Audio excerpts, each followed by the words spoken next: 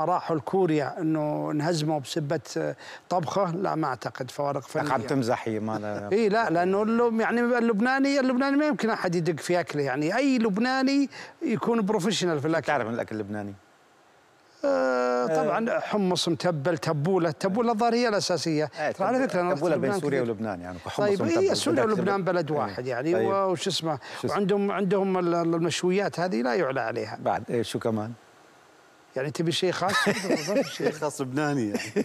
لا طموح ال- الشيف قاسم جيد جدا. وعجبني مصطفى. ولكن أنا أحذر الفرق المنافسة. اللي بتلعب ضد النجمة لا يأكلون من أكله. لأن بينهزمون.